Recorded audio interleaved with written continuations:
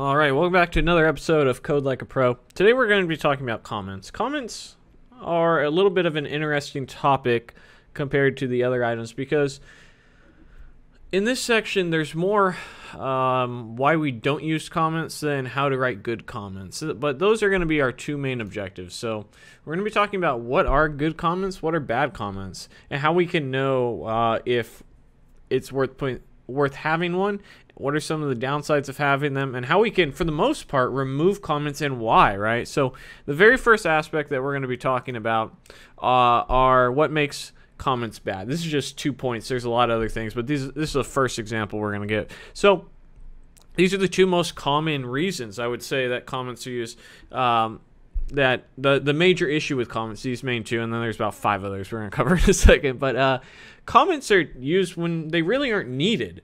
Um, and typically, comments are used to explain bad code. Usually, when you are writing your code, at this point, you've seen, you know, good variable names, and we're going to showcase an example of that. Good function names, we're going to showcase an example of that as well. That if you write your code well, in a descriptive fashion, you shouldn't really ever need comments.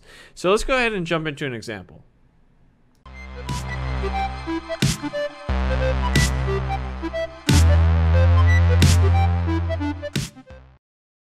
I want to thank the boys at Dev Mountain for sponsoring this video. You can check them out at devmountain.com.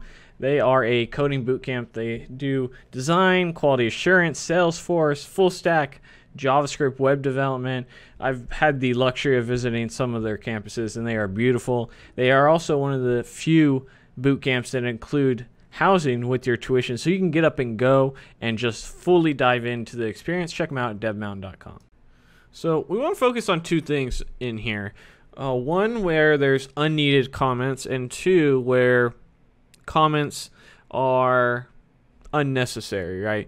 And um, I didn't even talk about this in the slide, but misleading comments as well. One of the reasons you don't want to leave comments is that's another additional thing that we have to update, another thing that we have to maintain. It's documentation essentially that we have to maintain and it could be counterproductive uh, to our code. So let's look at an example of that first, uh, where we have a function name here called longest string. It's singular. At one point, perhaps this returned a single, the single longest string.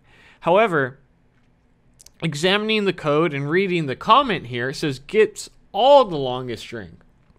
So our comment here is different than the function variable name, and one thing that we can do to eliminate this comment is we can actually update this name to to make more sense, right? So typically your function names just want to be verbs, and in this case we're getting an array of things. So we're going to get the long string. So we can eliminate this comment. And now we have a much more descriptive name. And this is, these are things we already talked about.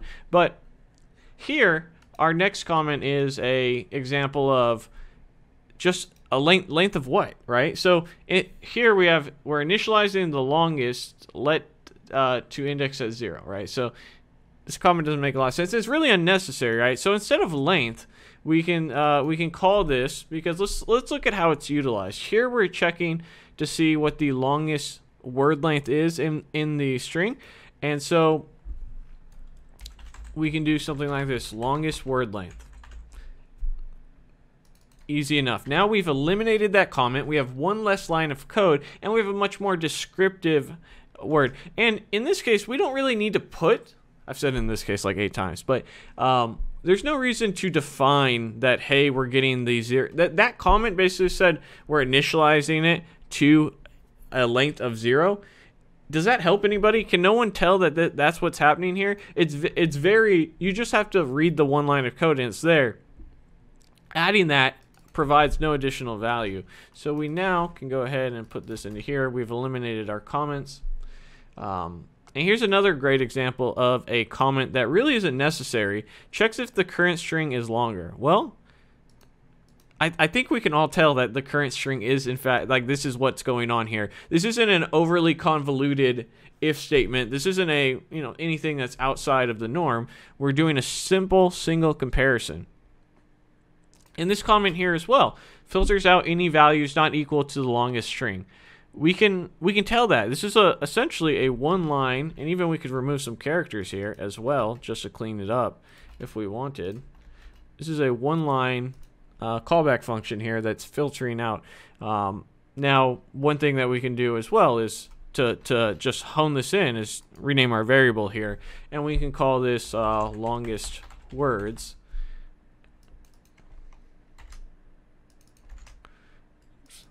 And what we've done now is we've eliminated some misleading comments uh, or mis. Uh, technically, the comment wasn't misleading, but the function name was misleading. But typically, it's in the reverse order. Uh, we've also eliminated unneeded comments uh, just by renaming our variables and just comments that really weren't doing anything. Right? Hey, hey, here we're telling it to to you know check the length. Like we can we can see that very easily. Two more things that people love to leave in that are really bad comments are leftover code. That's code that we've commented out and then uh, that we don't plan on using at that time. Uh, and then version control code. Uh, so let's go ahead and give some examples. Now this doesn't happen too often anymore, but occasionally some some developers will have this bad habit left over when version control was a little bit more of an issue.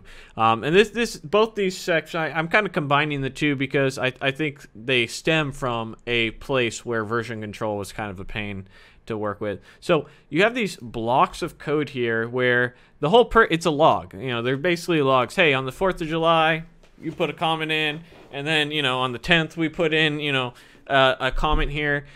All this stuff is handled in the version control with our comments, and there's really no point or place for it in it. Now, the other thing that is really bad practice is having you know you can comment code out when you're working when you're testing when you're going things but you should never have code commented out in your application when it's in production or, or it's moving forward. The reason for it is you're going to confuse future developers. Why is this commented out? Is this supposed to be commented in? Should i go and delete it?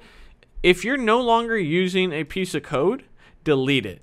Uh, if you need to go back and get it that's what version control is for. We have references to it. There's tons of logs that have all this sort of stuff. We can jump back in and get it. There's absolutely no reason in today's world to have commented code in in your in your production application. So um, either com- I'm commenting it back in because this is part of one of my actual projects, but delete it from the application and uh, move on with your your uh, with your programming.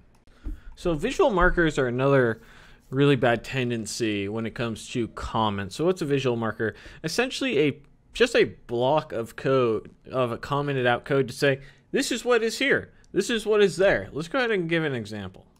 So I know we've all seen at least one file in our lifetime that has done this where you have these sort of blocks of codes that really describes what's going on with the structure of your page, what's going on with the formatting of the page here. You know, dependencies are here, meta information here, properties are here, public functions are here.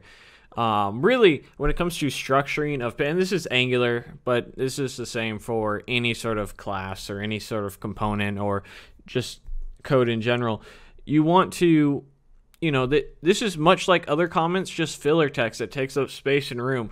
And if you actually think that you need to break out this part of your code you need to consider having a new file because it's the concern is so different that you need to put a like a big block like this then maybe it is something that's entirely different and it's we need to pull that out and and give it its own sort of domain.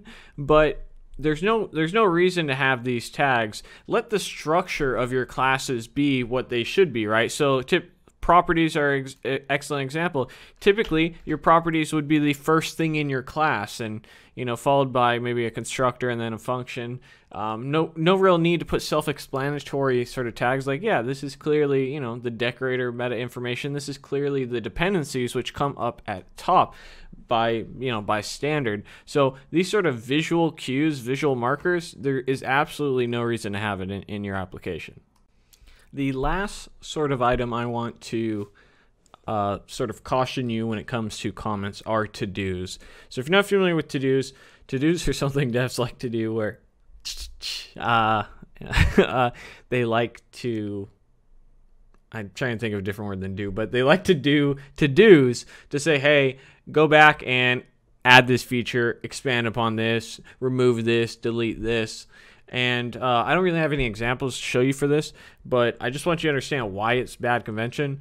Uh, for one, a to do, much like other comments, are something you have to maintain. It's something that you have to keep track of. Now, if you want to keep track outside of the application, that's perfectly fine.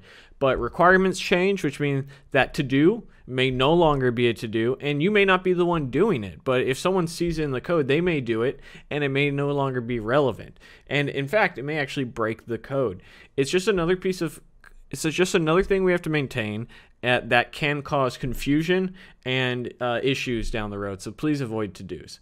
So we've talked about some uh, pretty much all a ton of bad comments, and if you've kind of got a feeling from this that you shouldn't leave comments, in general, that's a good practice, right? We've talked about how we could make it, we could eliminate the need for comments because comments are really there when we have failed to name our functions and our variables properly and in our code to be descriptive, right? We want the code, we want to better structure our code so that we can tell what's going on in the code without having to leave the comment. That's our objective here. We're going to write better code where comments are not needed. Now, there are some times where comments are especially needed and and we're going to give some examples of what those might be.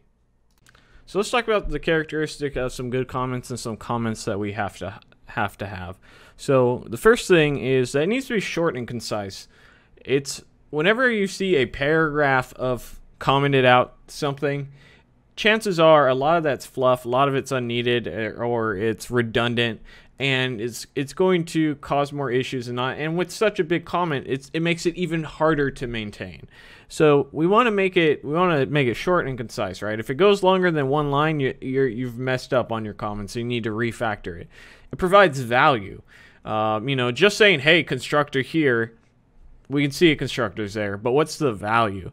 Um, and so when when do we use a comment right? Um, so these next two things kind of are kind of grouped together but we use a uh, a comment when it clarifies code that has a business purpose but looks out of sort, right? So what I mean by that is there may be some domain knowledge in the system that you know newer developers may not be familiar with, and here we we say a warning or an ampli- amplification of its importance to say, hey, I know this looks strange, and it's you know there's not a cleaner way of doing this, but we have to do this to get we have to do this to protect ourselves or we have to do this to provide the functionality that's needed and here is why.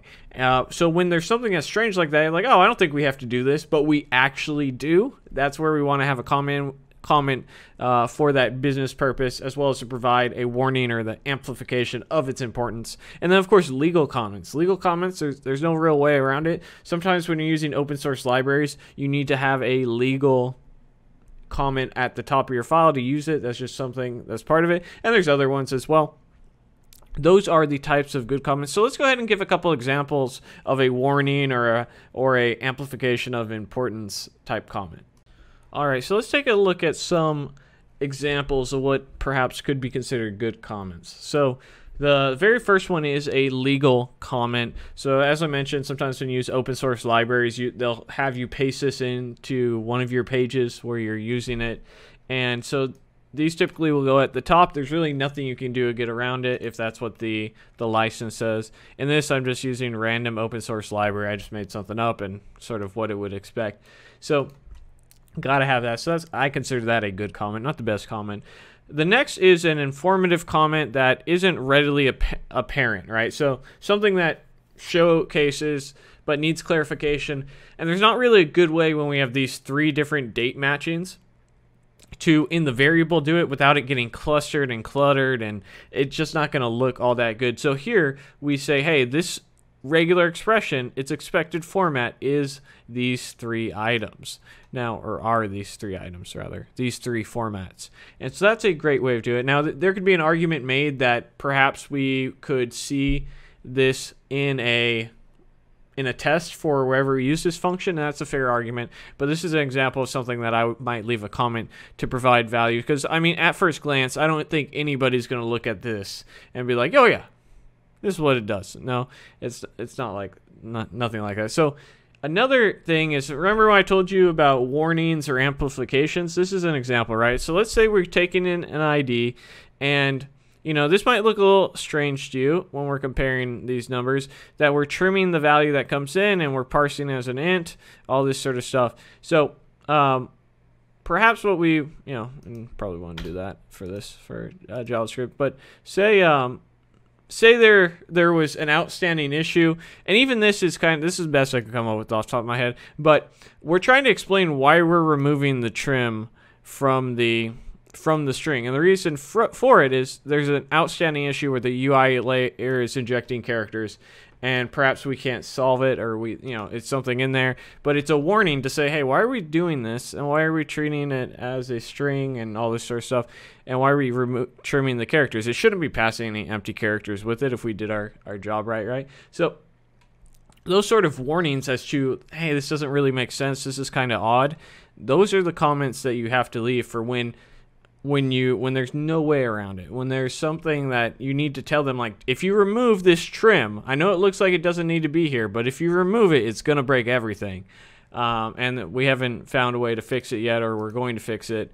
Um, but short and concise provides value of some sort telling you what it is and then legal comments. Now by the end of this you've probably said hey man so we don't leave comments anymore. That's a good thing. That's another thing we don't have to maintain. Our unit tests are going to be our form of documentation to explain how our application evolves. Our code structure should be clean and concise and follow standards, and that there's no reason for those blocks of codes. Um, you know, comments for what a function does or a variable is should be not, should be uh, should be far and few between because we're going to name our variables properly and we're going to name our functions properly so that they're descriptive and and and show us what our code is doing instead of us talking us through. Comments typically are used as they're redundant and they're you know they're used to tell you what you can already see. Um, but uh, worst of all, they are a crutch for bad code. And so we're going to make our code better so we don't need comments. So I hope you enjoyed this episode of Code Like a Pro. Um, on comments, don't forget to comment, like, and subscribe and share. You can support me on Patreon. Hit that notification bell. Subscribe if you haven't already. And I'll see you guys next time. Bye. So uh, Ivan has a, a pretty standard question of um, he's able to create a normal navbar, a normal component, but he's not quite sure how to build a you know quote unquote cool navbar really, at the end of the day, I, I think a lot of devs struggle with design. Um, that's why we have like UI, UX people who will design the stuff and then front end devs will build it. That's a different aspect altogether. So I wouldn't worry too much about that unless you're interested in going in design. Now, if you want to get better at design, the the way you get better is by anything else practice right? By studying and learning and like i one of the gaps in from in my learning process for quite some time has been css i'm much better and i would say i'm actually fairly strong in css now because uh, last six months or so i've made an effort to make it a priority. So if you're interested in making design a priority and ui ux a priority all you got to do is practice. And it, you know instead of it, it just really, it's like anything else. You just got to put the time in. Hey guys, thanks for watching the video. Hope you subscribed and hit that notification bell. Check out my latest course, the 100 Algorithms Challenge, where we go through 100 different algorithms in JavaScript and TypeScript so that you can ace your next JavaScript coding interview. You can get it in the description for just $9.99. Check it out. See you next time. Thanks for watching.